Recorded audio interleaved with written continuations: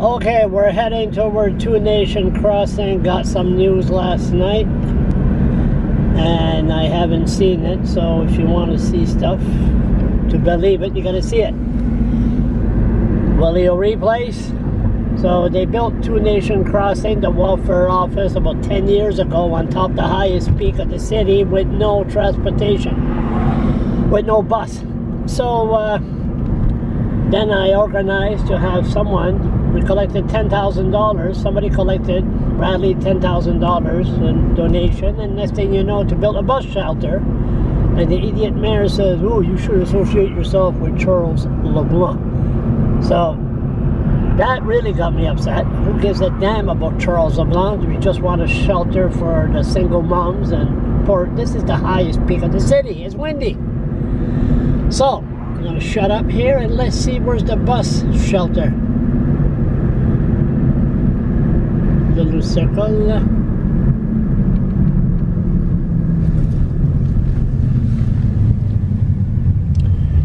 This is where a guy went against the one way and hit the motorcycle. Head on. Guy lost his leg guy, the, the driver was drunk at the truck oh yeah there it is right there Yep, that's where it is so there's the bus. There's two, supposed to be two bus shelters. The car behind us. Well, that's a nice one. Even the seat. Yep. Good.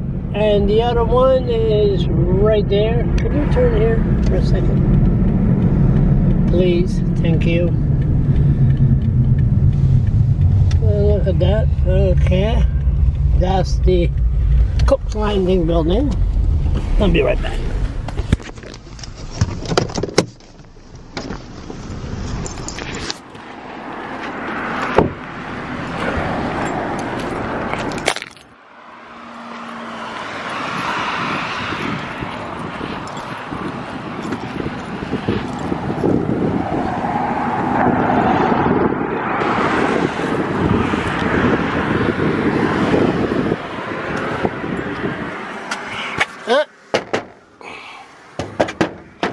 Good. Seat. Wait for the bus.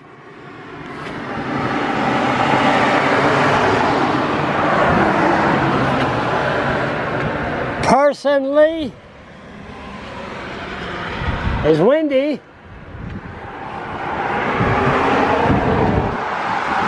Well, it's better than nothing, right? I thought maybe there'll be a little cover here.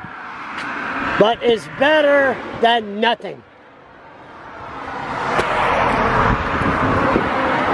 So we got a bus shelter. One across for if you you leave there. What is it again? You want to go in town. You go across to that bus shelter. If you come here, here it is. So that's good. Finally we got it. Now we move on to other